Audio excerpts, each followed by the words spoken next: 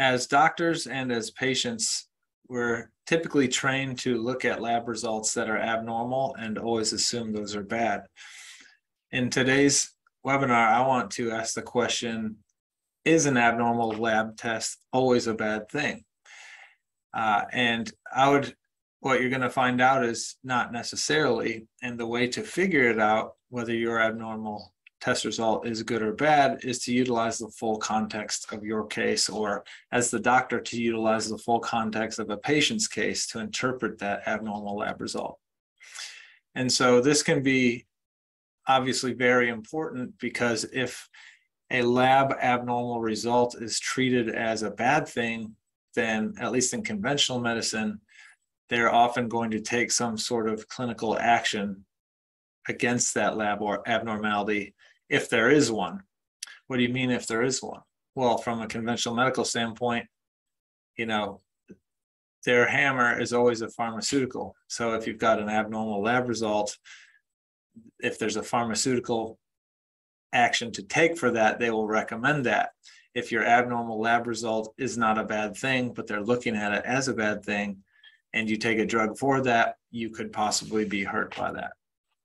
So uh, we want to always remember to look at something not in a vacuum, but look at it in the full context of a case. And let's use a case today from my practice to relate this information to you. And this is just one case. I've actually seen this many times uh, and in many children. So this is one example, but there's been many in my practice. And if there's many in my practice, there's probably many in many practices out there. So we want to be especially aware of this, uh, especially because it's happening in children a lot and because many children suffer with eczema like this child. So this child is a five-year-old girl with eczema that she's had since birth. Um, she she's seen the dermatologist, she's seen the allergist, she's seen the pediatrician many times. Uh, the allergist ran skin scratch testing to look for allergies from a skin reaction, and that testing showed positive to eggs, milk, peanut, and soy, which are very common food allergens. And you know, if you've got an allergy to those things, that could manifest as hives, that could manifest as throat swelling, lip swelling, all the way to EpiPen type reactions. It could manifest as eczema and skin rashes and those types of things. And this in this child, they were contributing likely to the eczema. She also tested positive to dog and cat dander. So, you know, kids love pets. Many, many adults love pets too. And oftentimes I've had patients who know they're allergic to dogs, but they have a dog in the house. And it's kind of like well you know i can't i can't perform magic. If you're allergic to a dog and you're keeping the dog then um, you know matter has limitations and you may you may not get where you want to go until the dog goes somewhere else. So that's always something to consider is what are environmental triggers that may be contributing to a given case. Uh, as with almost every child that suffers with eczema, this child was put on multiple courses of antibiotics and steroids throughout her young life. Um, dermatology often will recommend antibiotics for eczema. They'll recommend steroids to help put the fire out and, and help the rash. And these things may help short term, but uh, in this patient and many other children, that the keywords that are short term. They're never, they're never, they never help to completion. And so if a drug works or doesn't work, if a supplement works or doesn't work, if a lifestyle change works or doesn't work in terms of impacting symptoms, then that's a clue for us. And if we're health detectives, then the fact that a steroid helps the eczematous rash uh, intensity and itch and things go away suggests that there's an anti-inflammatory component or and or an immune component there that should be leveraged further and maybe investigated further to determine can we create that change without having to have a five-year-old on um, persistent intermittent steroid use And the same thing with antibiotics. If an antibiotic, taking an antibiotic helps lessen the skin rashes and the skin lesions in a case, then that suggests there's a microbial component, specifically bacterial, right? So, where can we investigate for bacterial infection? Gut, skin, sinus, bladder, right? Lungs. Um, and then if we investigate there and find infection or infections, are there natural strategies, natural antibacterial strategies we can implement that maybe don't destroy the gut microbiome and uh, or impact the systemic microbiome as much as a systemic antibiotic does. So those are things to consider. And of course, with eczema, uh, this young girl had lots of itching and the red rash lesions, uh, and they were painful. And so, you know, if you've never seen a child with eczema, this is an example. Uh, here's the back of the legs. Here you can see the eczema on the back of the knees and these lesions on the, the calf. And if we turn the legs over, you see them throughout the shins and over the ankle here and on the top of the foot. So this is very itchy. You can see dry, scaly, um, kind of isn't limited to any specific surface. Eczema can cover the whole body. Eczema could just be local to, say, the hands or the lips or the eyelids. So it just depends on the person and their unique case. And so this young girl uh, had it all over her body, but I thought the pictures of the legs were sufficient to to be an example for you. So that's the history. Let's look at some labs. So we moved forward and we ran some labs. And the labs I want to show you specific to this case are right here. And you might say, why are we testing thyroid for eczema? And we'll get to that. But what I first want you to see is the result. And the result is that there are multiple markers here that are lab high. Okay. We can see that, first of all, this is thyroid testing. And I've made multiple videos on thyroid lab testing and interpretation. I'll link to them here so that if you don't know a lot about thyroid, you can watch me walk you through thyroid physiology and thyroid testing and interpretation on another video. But uh, one thing you need to know is that a full thyroid panel is right here. This is a full thyroid panel consisting of eight markers. Conventional medicine typically will only run one marker, thyroid stimulating hormone right here and say that they've done a thyroid panel. That is not true at all. They've done one eighth of a thyroid panel when they do that. So for them to run one eighth of a panel and say you have a normal thyroid or you don't is not good detective work, not good medicine, but unfortunately is standard of care. So what you need to draw away from that is that the standard of care in the US is very low standard, at least in terms of thyroid. So if we just followed conventional medical practices, standard of care, and only ran a TSH, we could have not got as much information from the cases you'll see that we do get because we would have had only the TSH and you would see that this is within normal range. 2.6 falls between 0.6 and 6.2, which this range is very broad. Uh, typically, LabCorp will have a range of between 0.45 and 4.5. Okay. And then when you go above 4.5, you're into lab high, and that would be suggestive of hypothyroidism. But at any rate, in this young girl, her TSH was not only in normal range here, but also optimal range. 2.6 is in the optimal range that I use. So again, if we only ran the TSH, we could have been fooled by this because this is optimal. Thankfully, we didn't. We ran the other seven markers. These two right here are antibodies, and both of those were negative. So we know that she does not have thyroid autoimmunity. That's good to see. Uh, this reverse T3 marker here is normal, so that's not an issue for us.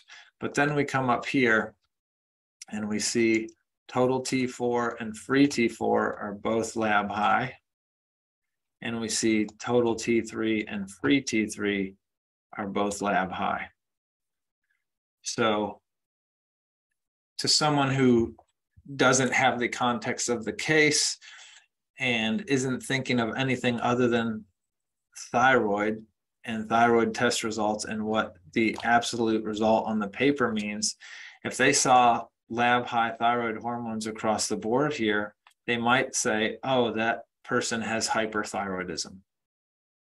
Right? If they're only treating the piece of paper, they know nothing about the slides we covered before this.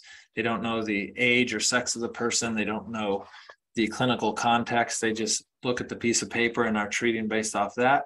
They might say, hey, this person probably has hyperthyroid type symptoms because her thyroid hormones are off the ch- or are lab high outside normal range. And symptoms of hyperthyroidism include anxiety, heat intolerance, heart rate and rhythm issues such as palpitations, uh, could be diarrhea, could be uncontrolled weight loss or inability to gain weight, um, perhaps some bulging of the eyes, things like that. Okay. Our patient had none of those symptoms. Uh, and in hyperthyroidism, medically, to diagnose it, they like to see TSH lab low. Okay. So again, medicine wouldn't have run any of these. They wouldn't have seen it. They would have only run TSH, and if they ran anything at all in a five-year-old, which they hadn't. Um, but they would have seen this, and it would have been normal, and they move on. But we see this lab high. Does she have hyperthyroidism? No, because we've already been through her history, and I would have told you that if she did, right? So now the question is, these are all abnormal abnormally high if we're going by normal reference ranges. Okay. So the question that we started the call with and the whole purpose of the call is to understand is are these abnormals abnormal in her case? And so write it down or answer it to yourself right now. If you said yes, they are abnormal, then I want to help you understand why that answer is incorrect. If you said no, they're not abnormal, then you're smart because you probably get um, you probably realized, hey, I'm using this case in a presentation called "Is an abnormal lab test always bad?" to show you that it's not. So, good job figuring that out. All right, but why, in the context of eczema, why might thyroid levels be high absent hyperthyroidism? And in being high, abnormally high, why, how could that abnormality not be abnormal? What do you see in eczema? Eczema is a skin condition where we have skin damage, right? You're seeing these skin lesions, you're seeing dryness of skin, you're seeing skin turnover. So that's important. Why would thyroid hormone levels matter in eczema? Because thyroid sets the metabolic rate of every cell in your body. In order for you to have a metabolism as a person, as a whole being, you need optimal thyroid function. Well, for a skin cell to have a metabolism, it needs optimal thyroid function. Thyroid sets the metabolic rate of every cell in your body. So, highly metabolic cells will suffer first, right? Because, or they'll they'll require more thyroid hormone because they have a higher metabolism. What are highly metabolic cells? Skin, nails, hair, right? Constantly growing and shedding.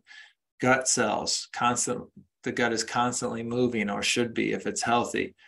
Um, the brain never shuts off. Your heart never shuts off, right? So these cells are constantly putting a demand out for thyroid because they're never turning off. They're always functioning at a high rate relative to other cells that are not functioning at as high a rate. So if we're looking at an eczema case, these are skin cells that are constantly damaged, constantly turning over. So they're going to constantly have a higher demand for thyroid, right? They're going to, there's, this is you know, yes, it's a sign of inflammation and pain and itching and redness, but what you can draw from that is that these cells are constantly being sloughed off or lost. So they constantly have to be replaced. So a different way you could perceive these, these wounds or these lesions is these are areas of high skin cell turnover or high metabolism. And this little girl, you're just seeing the legs, but the entire body looks like this. So if the whole body looks like this, wouldn't it make sense that there's going to be a high demand for thyroid hormone, a high demand for the ability to metabolically replace those cells? Right? So, in that context, these lab highs are not abnormal for her, they're actually appropriate. They're a good sign. They're saying, hey, her thyroid is appropriately producing the hormones that are allowing her to turn skin over and make new skin when those eczema lesions happen. Right? So if we look at that as appropriate in the context of her case, then we can say, well, how do we know if I'm right? How do I know she doesn't have hyperthyroidism? Well, first of all, she's not showing any signs of hyperthyroidism or symptoms. So that's the first giveaway. But secondly, I can prove that I'm right by by being successful in her case.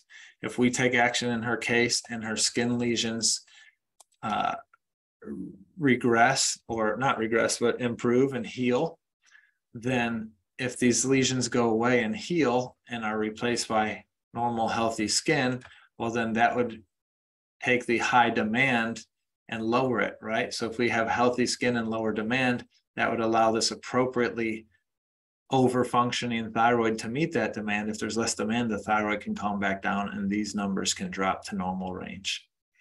So the way to know if we're right or not is to take action, uh, you know, and assuming we take the correct action and the patient heals, then we can retest and observe the thyroid hormone numbers. And if the thyroid hormone numbers drop back down to normal, then we know we were right. And we know that that was an appropriate adaptation by her thyroid and by her body to keep up with the demand of skin cell turnover that was part of her eczema. So I hope this is helpful in helping you understand one instance on how and why an abnormal lab result is not always abnormal and why it's very important to take the entire case into context before you reflexively just treat a piece of paper. Rather than treat the piece of paper, we want to work with the whole patient and observe for change, not only in the skin in this case, but also in the labs so that we know that we're on the right track.